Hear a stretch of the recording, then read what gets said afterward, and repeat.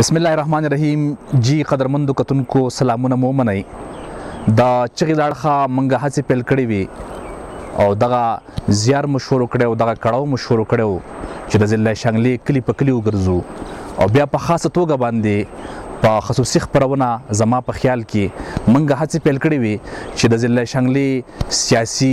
مذهبي او په ادبي خلکو باندې وګرځو او د هغوی د ژوند په اړه تاسو ته د هغوی معلومات درکړو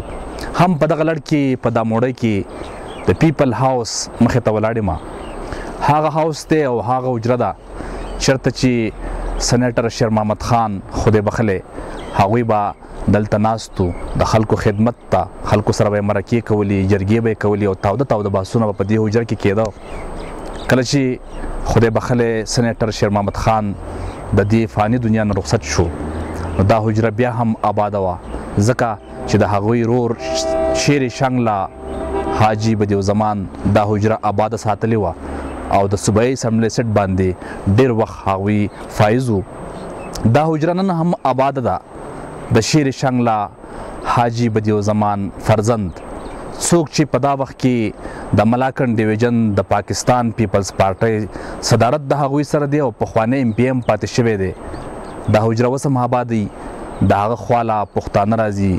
او هغه نظریاتي خلک راځي د هغوی سره ناسته کوي د هغوی نه مشورې اخلي نننۍ د چغې خصوصي خپرونه زما په خیال کې به د ملاکنډ ډویژن د پاکستان پیپلز پارټۍ صدر او پخواني ایم پي اې ډاکټر افسر الملک خان سره به تفصیلي خبرې کوو مرکې به کوو خوږې خبرې به کوو د هغوی د ژوند په اړه او په سیاست باندې به تاوده بحثونه کوو د ما سره اوسئ چې لاړ شو پیپل هاوس ته او د ډاکټر افسر الملک خان سره مرکه پیل کړو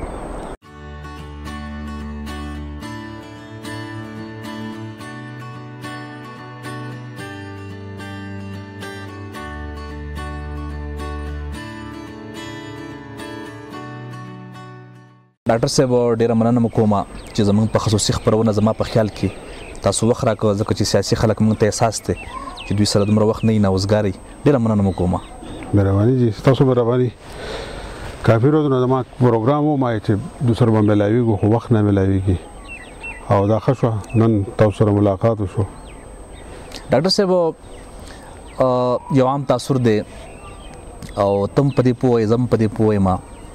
چې د چا مشران داسې قرباني ورکي خپل په ژوند کې داسې ځانګړي ځانګړي کارونو کې یو مقام ته ځان ورسوي پیژندګلو به خامخا لري خو بیا هم تاسو زمونږ د چغې په سکرین باندې نړۍ ته مخامخ یې که خپله په لږ وخت کې را سره خپله پیژندګلو کوئ تاسو د زیږون نیټه او ابتدایي تعلیم تاسو د کوم ځای حاصل کړئ په لږ وخت کې راته سره شریکه کړئ زه د 1965 1965 کې دا موړی کې پیدا شوم او په دا موړی پرایمري سکول کې بیا داخل شوم په ګورنمنت پرایمري سکول دا موړی کې کله چې راولوېدی ډاکټر صاحب او بیا د سی مهمه کورنۍ کې تاسو سترګې غړولې وي هغه سیاسي هلې ځلې درته یادې د سی یو کم کم ته چې مونږ هغه بالکل بالکل بالکل تر یاد دي هغه خو یو ډېر خسته وخت شهید ذوالفقار علی بټو په پالیټکس کې راوته او مشرانو مطلب چې دلته کې دغه یو سیاسي عزم د یو سیاسي مستقبل چغه وهل و چې نن زموږ په ذمہ راغلی ده ډاکټر صاحب چې کله رالوېده او د جون هغه تودې سړې لیدي او د هغوی مشرانو سیاست کو او ډاکټر افسر الملک په یو میډیکل کالج کې سټوډنټ و بالکل وخت په خطرې ده خو کله چې د هغوی والد محترم چې هغوی ته د خطاب هم ورکړل شوی دی شیر شانګله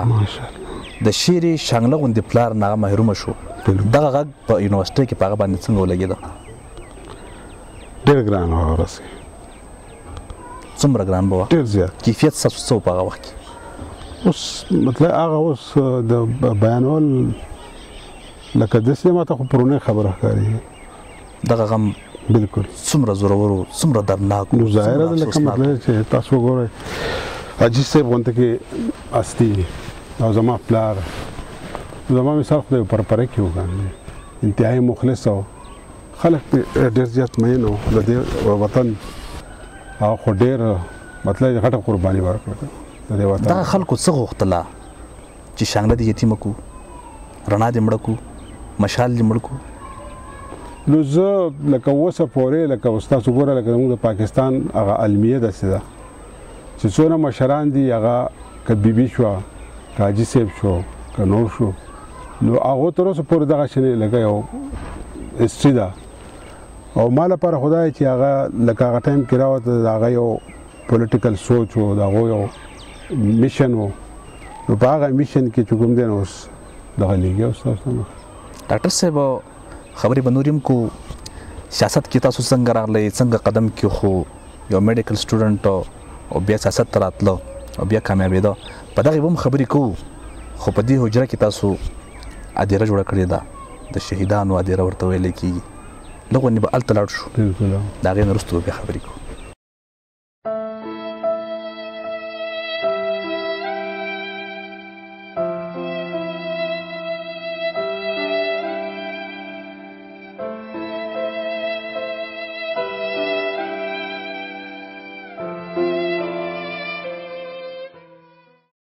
ډاکټر صیب په پیپل هاوس کی ادیراو په ادیره کی بیا داسی هستیانی دفن شوی دی چی یقینا چی په ضلع شنګله کی ددی خلکو نه به خلکو یره کوله د پاکستان پیپلز پارټی نه به یی یره کوله ډیره مضبوطه وه ډیره طاقتوره وه ایا که دا خلک په دوه زره اولسم کی هم ژوندی وی ستاسو کورنۍ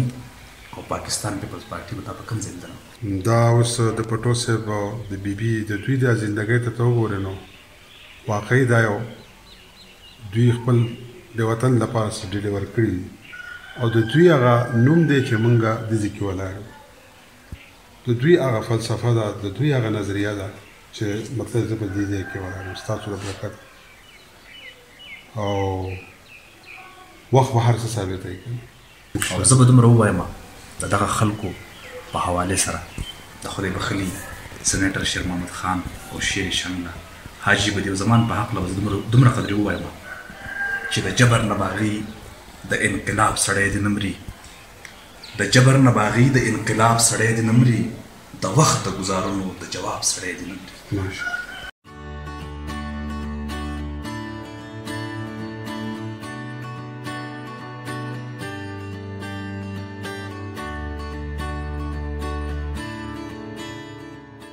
ډاکټر صاحب ډاکټر افسر الملک او آصف علي زرداری کوم وخت تصویر دا د ایوان صدر تصویر دی ما دا کاری چې 2012 13 کسې دی ډیر درته سینه یاد. دغه بل عکس لکه مونږ ګورو د محترم ابي نظیر بټو سره. بالکل او ماشاءالله. دا کم کم وخت تصویر دی په کم ځای کې وسته شوی؟ دا د 2007 اجویر روډ او التا لندن کې او ما تخکاری غالبا چې رحمان ملک زیو آصف علي زرداری محترمه بنظیر بټو په قیادت کې څومره کمی محسوسوي نو دواړه لکه انټایرلی ډیفرنٹ دي لکه مطلب چې دغه لحاظ سره بي بي ځان له خپل یو سوچ او زرداری صاحب ځان له خپل یو سوچ دی قوم پرست دی پاکستان د پاره ویلې دی قوم پرست دی قوم پرست کتونکو په پیپل هاوس کې په هغه حال کې ناست یو په کوم حال کې چې د ډاکټر افسر الملک خصوصي ملمانه دلته کینی بلا عکسونه مونږ ولید په هغه باندې مونږ خبرې وکړې ډاکټر صاحب سیاست په لور راځو تاسو په جون باندې مونږ خبرې وکړې د میډیکل لاین نه سیاست تراتله څومره ګران و او دغه سفر څومره خوږ او څومره تریخ و دا و چې زه اول کې تاسو ته ما وې زه دا مړی سکول کې مخ یو کال دوه پاغې کې پاتې شوم بیا کته بوتلم اسلام ابټاباد ته فیډرل ګورنمنت سکولونو په هغه کې چې زه پاتې شوم نو هغه زه الحمدلله کال ورسته پراکټر شوم د ټول دغه د هغې وروسته میډیکل کالج ځان له یو خپل یو فیلډ دی یو خپل یو دغه دی نو په هغې کې وم او ډېر ښه وم په خدمت او په کارګزارۍ په لحاظ سره کله چې حاجي صاحب شهید شو نو موږ خو ټول دلته راغلو نو زما د ترونو چې کوم دی نو دا فیصله وکړه زه دې فیلډ ته راوتم مشرانو ستاسو نوم ولې وټاکه د تاسو نه مشران ستاسو وروڼه وو ستاسو نوم د سیاست لپاره ټاکل دې کې یو خاص راز و نو دا خو دا دی چې زما د ترونو په هغه وخت کې زه د هغو ډېر زیات نیازبین وم او د کارګزارۍ د خدمت په لحاظ سره ډېر تاسو کې هغوی هغه جذبه لیده چې د خدمت جذبه شته دی موږ قامي خلک یو په هر ځای کې زموږ ناسته پاسته ومي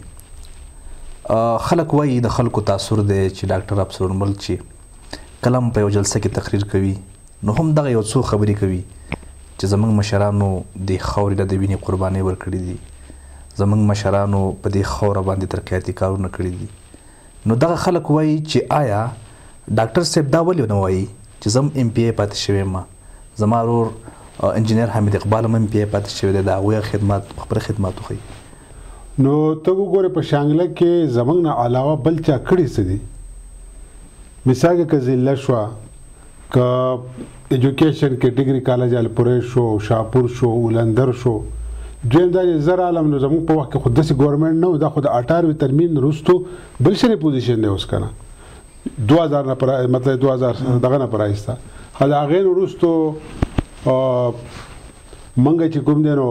لکه ما چې د څونه سسپنشن بریجز دي دا ټول ما کړو زموږ والد سه خو په شهید شو او دومره جابز په هغه ټایم کې الحمدلله اوس هم زما د لاس خسته خسته ګلونه ګرځي زه په ډېر خوشاله یم خسته خسته سکولونه دي ته پر په وطن کې وګوره زما خپل پرایورټي چې کوم هغه ایجوکیشن ایون چې زما د اسمبلی سپیچز راواله پاغه کې مطلب ما دونه خپل حد پر ډیبیټ کړو چې بیگم سه بیگم نسیم علي خان زما د ایجوکیشن پالیسي سره د وطن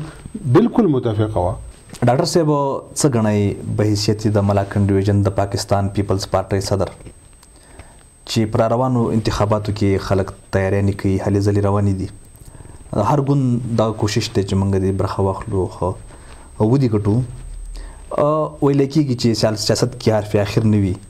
څه امکان لري چې د پي ټي آی سره اتحاد ممکن دی ستاسو؟ اتحاد خو کته په هغه پارټۍ مرکزي سطح باندې د هغو اختیار دی او مقامي طور باندې مطلب چې هغه د ملګرو د مشرانو د پارټۍ د هغو اختیار دی. په دوه زره اتلسم په انتخاباتو کې ډاکټر ابصرالملک خان ځان په صوبايي اسمبلۍ په سیټ باندې ویني که د قامي اسمبلۍ په سیټ کې ویني؟ دا به مطلب چې ملګري یو هغه پارټۍ پارټي به دا ډسیژن اخلي چې کوم پوزیشن زما لپاره بهتر دی یا کوم پوزیشن زه په صحیح طریقې سره ډیلیور کولای شم په ضلع شنګله کې پاکستان پیپلز پارټي روایت راغلی دی که تاریخ مونږ وګورو خاص کر په ضلع شنګله کې دا یو طاقتوره پارټي وه کله چې ستاسو مشران دې الله وبخښي هغوی ژوندي وو هغوی به عوام به تبلا نه کوله او په زیاته په بیا بیا باندې تاسو والد محترم شیر شنګلا حجیب دیو زمان کامیاب شوی د ضلع شنګلې نه خو د خلکو اوس هغه مینه پیپل پارټي سره نشته دی ستاسو په رویو کې فرق راغی ستاسو په مینه کې فرق راغی پالیسو کې فرق راغی څه ګڼئ؟ نه جی مونږه مطلع چې مینه خو لکه ډیره زیاته ده الحمدالله د پیپلز پارټۍ په ورکر کې چې کومه مینه لکه نن سبا ده نو داسې خو په نورو پارټیانو کې خو نشته دی پیپلز پارټۍ په ورکر کې ها حالات او واقعیت داسې دي چې پیپلز پارټي چونکې د عزیز صاحب په وخت کې نوې پارټي وه او راوچتېده یو نوې نظریه یو سوچ یو پروګرام یې راوړ د غریبانانو پارټي ده ټیک شوه هغې چې څونه مطلع هغې ته بیا ته ګوره ورته مطلع څونه غټ غټ هغو سره حادثات راله خو د هغې باوجود چې کوم دی نو لکه ته ګورې په دې کې په دې حالاتو کې چې دا کوم چې دي دا کوم چې حالات ستاسو د مخې دي د ټول پاکستان او بیا دلته کې نو د هغې باوجود چې کوم دی نو پیپلز پارټي په دې کې هغه ژوندی ده او پیپلز پارټي په دې کې خپله مقابله کوي ډاکټر صاحب ډېرې تفصیلي خبرې وشوې ډېرې ګټورې خبرې وشوې د پوهې او د علم خبرې وشوې په سیاست باندې بلا خبرې وشوې ستاسو په ژوند باندې بلا خبرې وشوې مننه مو کوم چې وخت مو راکړی و خو په د خپرونې په اخري شیبو کې راسره داسې میسج داسې پیغام د شانګلې ولس له د دوه زره اتلسم د انتخاباتو په باره کې ورکوئ نو ورکولی شئ.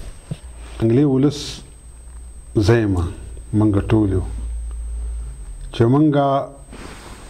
خپل اصلاح وکړو یا که انفرادي طور باندې اصلاح وکړي سړی وایي چې دروغ نه یم نو په زندګۍ کې ډېر لوی فرق راځي پولیټیکلی زموږ شانګلې ولس ته زه دا اپیل کوم درخواست کوم چې پولیټیکلی میچورټی هغه وخت دی او پولیټیکلی ځان راویښ کړئ او دا حق کې ما سره په ایماندارۍ سره ودرېږئ. ډېره مننه به کوم ډاکټر افسر ملک خان چې وخت مو راکړ او دا ځانګړې خپرونه زما په خیال دا راته ښایسته کړه ډېره مننه. ډېره مننه. جی کتونکو دغه هڅې مو دوامدارې دي د ضلع شنګلې کلي په کلي به ګرځو